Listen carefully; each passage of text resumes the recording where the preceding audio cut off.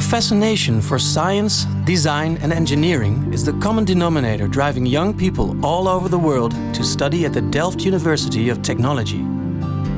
I am studying on the Faculty of Architecture. I study at the Faculty of Applied Sciences. Mechanical, Maritime and Material Engineering. Civil Engineering and Geosciences. Technology, Policy and Management. Aerospace Engineering. Industrial Design. I am a PhD student in Electrical Engineering.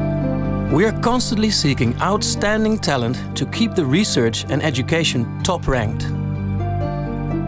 You get to work with your own ideas in a team with students from different faculties. You don't only get to design and build the car, but you can also drive it, and that's super cool. An example is the Nuna, a solar-powered car built and designed by students.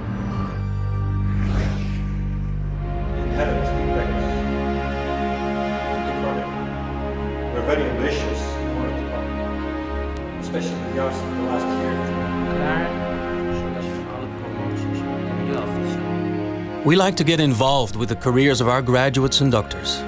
There are many examples of companies with successful products founded by our alumni.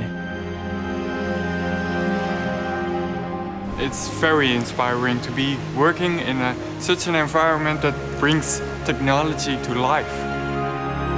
Yes!Delft supports young entrepreneurs who want to start their own technology business. The TU Delft has been a big support in realizing our first major building, the floating pavilion in Rotterdam.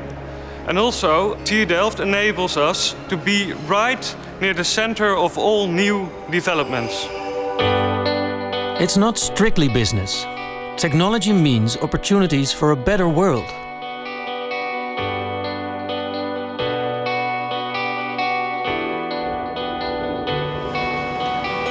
Here, multidisciplinary is very important.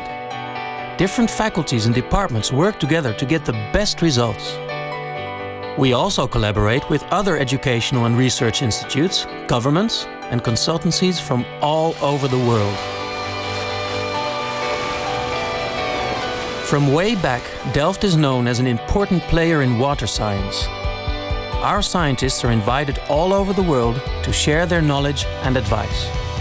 Just think about New Orleans or Dubai.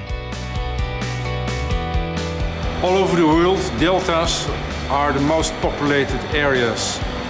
Very attractive for living, but also vulnerable for flooding.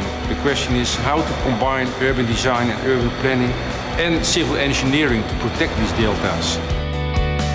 Technology plays an important part in our lives, and the Delft University plays an important part in technology. Everywhere you look, you see technology made possible by our research, big or small. The solar-powered car, a floating city, and Dutch water management are just a few examples. And it all starts with the right education.